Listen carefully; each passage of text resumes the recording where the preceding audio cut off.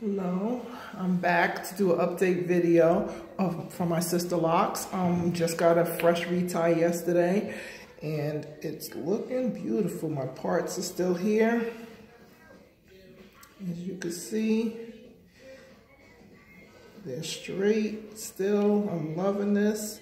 My hair has grown so much since I started my sisterlocks um, this April of 2019 will be make it four years that I've had my sisterlocks and I'm loving it. Let me show you what it's like. The growth is just beautiful. See here, I had lost one of them. I should have gotten it repaired, but I didn't when I got my hair colored. So, oh well for that one, it'll grow back.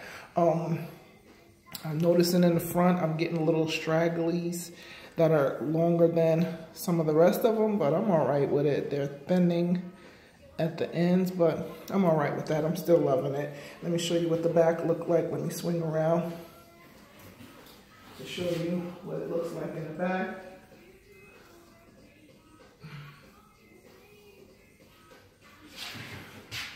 I'm loving my sisterlocks. My hair is thick.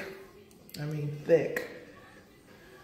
Really thick but I always had thick hair, so I have to deal with that.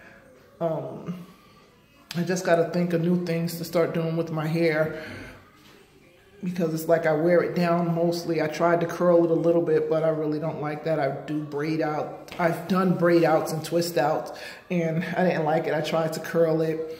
My curls didn't last too long after I spent all that time rolling it. So, but I'm loving my sisterlocks still.